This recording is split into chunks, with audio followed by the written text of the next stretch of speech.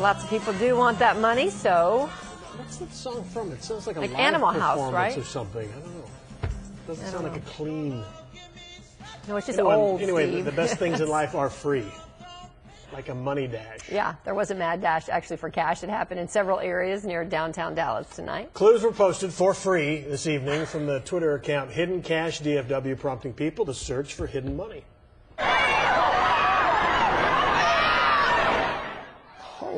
Cow.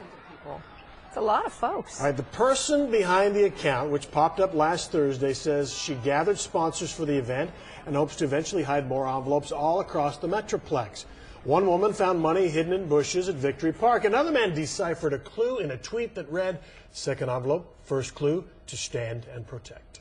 Forty dollars. What, what are you going to do with that money? I'm gonna save it. And I got twenty-five dollars out of this, so that's that's pretty good. Nobody killed me. He's got a gun. Where'd you find it? This gentleman had it. Are you serious? I'm dead serious.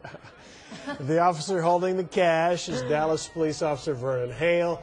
He says it was all good, clean fun. And listen to this, in, in a, maybe a perfect Joe Friday world, no disturbances occurred. I like that. Everybody just having There were no disturbances, Heather.